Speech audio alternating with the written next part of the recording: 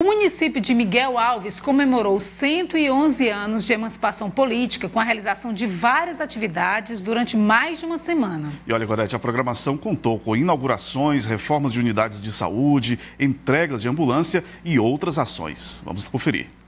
Na festa do aniversário de Miguel Alves, o hasteamento das bandeiras foi uma das primeiras atividades da data que marcou os 111 anos de emancipação política do município, reunindo a população e também autoridades. Em seguida, na comunidade Porto do Designo, na zona rural, foi realizada a entrega da reforma e ampliação da Unidade Básica de Saúde Chico Evas, uma homenagem ao líder comunitário da comunidade. É muita emoção, né? Porque são poucas as pessoas da nossa comunidade que recebem uma homenagem como essa. Então, assim, nossa família, minha família, fica muito grato né, por essa iniciativa. Né, e eu acho que deveriam ter feito mais vezes com pessoas que realmente tiveram uma, repre, é, uma representação na comunidade. Após a reforma, o local passa agora a contar com exames laboratoriais, médicos plantonistas e serviços que antes não eram ofertados aos moradores. Fazendo esse atendimento desta unidade de saúde que vai funcionar de domingo a domingo, de segunda a sexta com a equipe completa de médico, sábado e domingo com os nossos enfermeiros e técnicos de enfermagem e vamos montar uma sala aqui nessa unidade de saúde para fazer as teleconsultas e outra no Hospital Pedro Vasconcelos. Nós vamos implantando o serviço de eletro, o eletro vai ficar já aqui na comunidade para atender durante todos os dias e nos casos de urgência.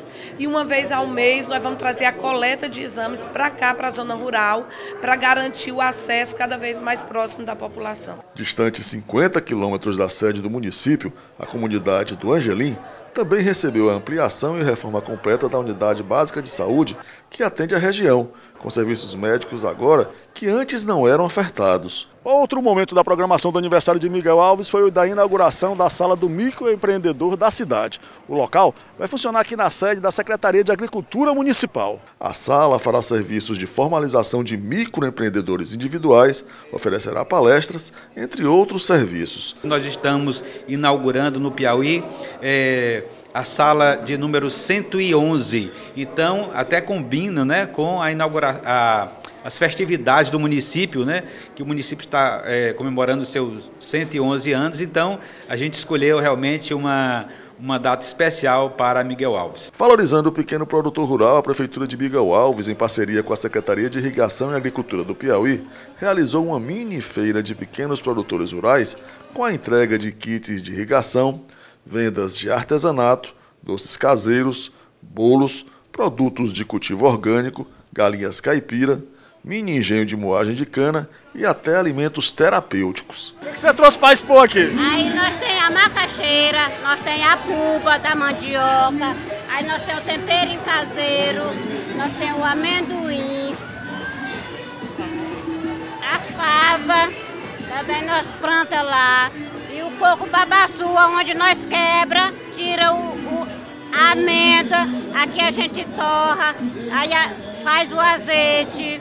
E aí a gente bota de comida, galinha caipira no leite de coco é bom demais. A entrega de uma nova ambulância ao SAMU de Miguel Alves também fez parte da programação, que contou com a presença de autoridades estaduais. Tudo isso representa o compromisso da gestão municipal com o município de Miguel Alves. Então eu fico muito feliz de estar aqui justamente com o VEIN, com todo o seu grupo político, comemorando esses 111 anos de emancipação política. Competições de atletismo em várias categorias, ciclismo, pau de sebo e shows musicais encerraram as comemorações dos 111 anos de Miguel Alves. E a festa já deixou saudade.